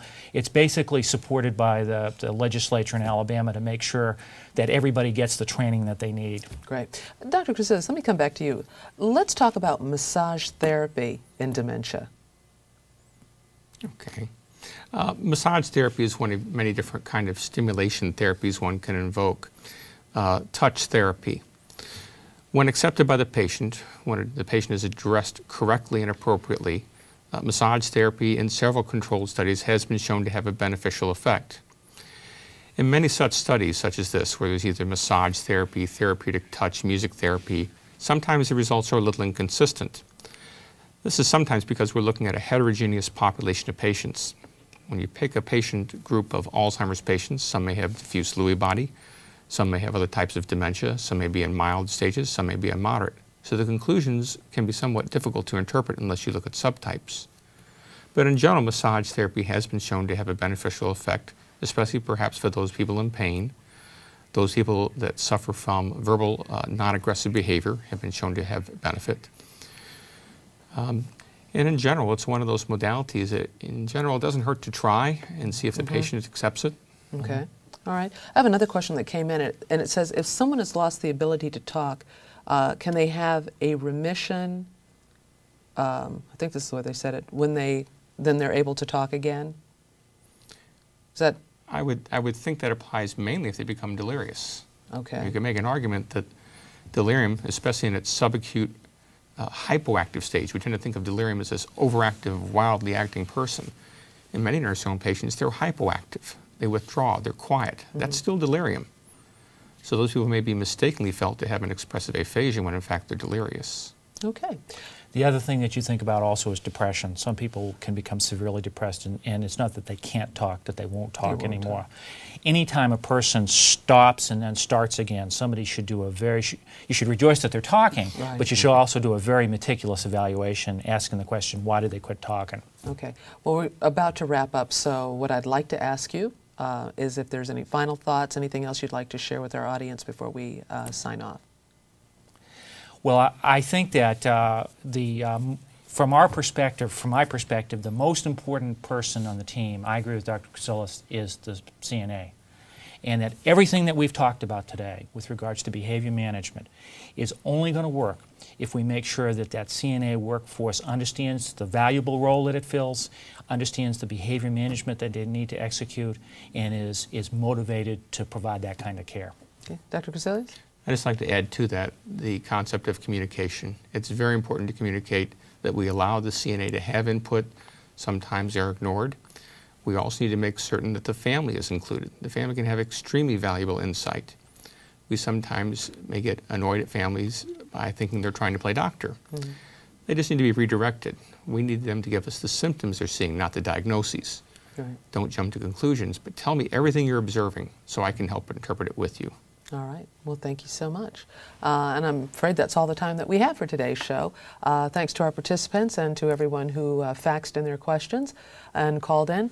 Keep thinking about the topic because our next show on this topic is going to air on March 26th. And we're going to focus on issues that arise as nursing home surveyors evaluate the provision of care for residents with dementia. And as Sharon said at the beginning of this program, we're hoping to hear from surveyors with issues uh, you would like to see discussed by our expert panel. The deadline for contacting us with those issues is March 12th. You can send faxes to CMS at 1 410 786 6730. Mark your fax Dementia Show. Or you can send your questions by email to kshaneman at cms.hhs.gov. And remember again that you can see this entire broadcast for up to one year from this date at http colon forward slash forward slash cms.internetstreaming.com. Uh, on a non dimension note, please be sure to join us for our very next broadcast on March 12th when we'll be joined by Dr. Jeanie Kayser-Jones and Dr. Thomas uh, Finucane for a look at the topic of hydration. Thanks so much for watching. I'm Doris McMillan. Have a great day.